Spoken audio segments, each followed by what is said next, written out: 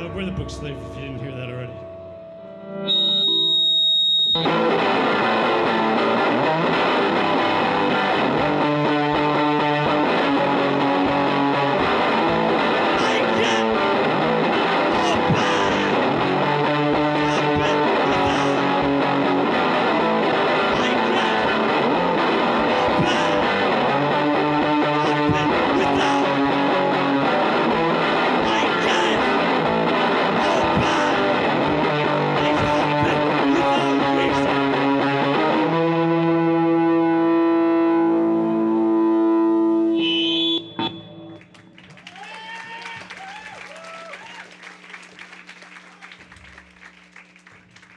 Stay straight edge, go vegan, long live my Joy.